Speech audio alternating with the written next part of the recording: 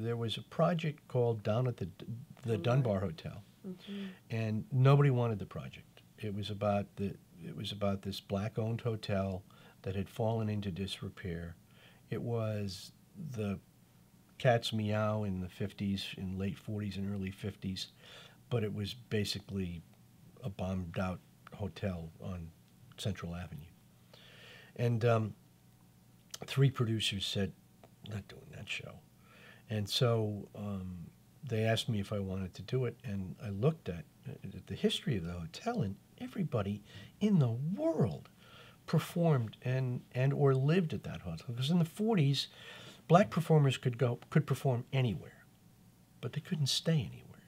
So the Dunbar Hotel black owned by first black owned hotel uh, west of the Missis- uh, west of the Rockies uh, owned by um, a dentist from USC um, everybody was there on a Saturday night Duke Ellington would be there Ella Fitzgerald Redd Foxx everybody who was anybody stayed or performed at the Dunbar. And what happened was at two in the morning, when all the other um, shows were out and all the white performers were finished, well, hell, they wanted to have fun. They went to the Dunbar.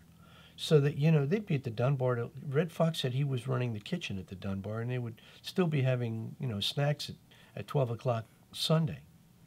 So we did this documentary. We, we found a guy who had um, a, a whole library of something called talkies, uh, soundies, soundies. Soundies were basically music videos, but shot on film, and they were in film jukeboxes. He owned all the library to all the black performers. Wow. So we made a deal with him. So we used all the great performances in the show. We got Jon Hendricks, who is a jazz performer singer, to host the show, and he did the whole show. All his narration was in rhyme, rap, if you will. And um, so we wanted to, once again, to show the heart of the project. We wanted to find someone who had actually dated at the Dunbar. And at the time, uh, there was a, a really wonderful young PA. Her name was Erica Gerard, who is now Erica Di Bona, um, who before the internet, before any kind of research that was, you know, easily find outable, within two days she found a couple, Frank and Tilly, who had met at the Dunbar on a Friday night in the lounge and married two days later Hmm. in the dining room.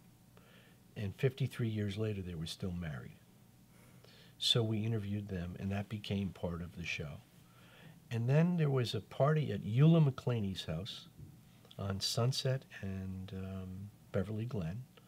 A very wealthy African American woman made her money selling sweet potato pies and then bought a whole bunch of nursing homes in Los Angeles. And I interviewed a 103 and a 100, 103 year old woman and a 109 year old man who was at Lincoln's inauguration. Oh Lord.